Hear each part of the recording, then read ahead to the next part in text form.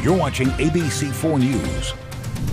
Intermountain Primary Children's Hospital is co-leading a national study on a serious COVID-19 syndrome in children. ABC4's Surae Chinn has the insight for today's sponsored Healthy Choices segment.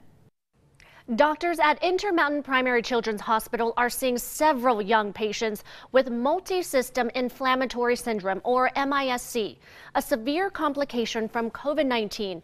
Dr. Dongngan Truong, a pediatric cardiologist with the University of Utah Health and Intermountain Primary Children's Hospital, is co-leading the nation's first study to understand how uh, MISC is affecting children long term. And Dr. Truong, tell us a little bit about the study and its purpose?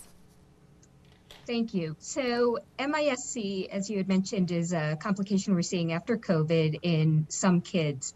And these kids can be really sick with significant inflammation that can involve the heart, the brain, the lungs, uh, the GI system, multiple organ systems. Essentially, any organ system can be affected.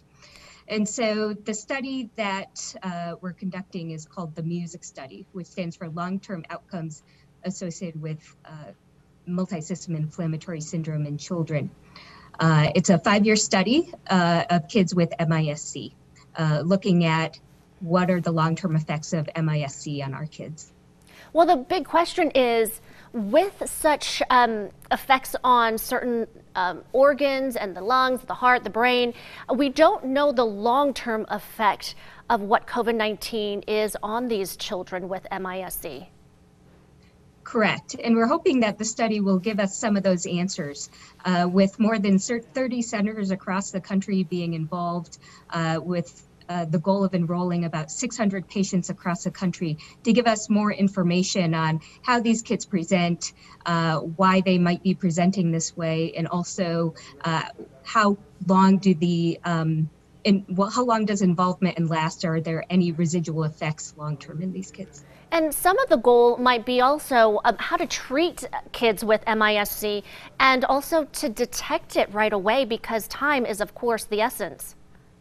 Yes, absolutely. And so uh, we are collecting a lot of extensive data within the hospitalization um, and also various lab tests as well to kind of uh, best see what how these kids are presenting to hopefully uh, help clinicians to pick up on this sooner. Um, and also uh, sort of looking at treatments and looking at treatments and various outcomes. Excellent. And we hope to find, of course, more answers every day. We seem to. Thank you so much for your work. Again, the music study led by Dr. Truong, uh, conducted in more than 30 academic institutions across the U.S. and Canada. Canada. Thank you so much. For more information, you can always head to intermountainhealthcare.org. Again, doctor, thank you so much. Thank you.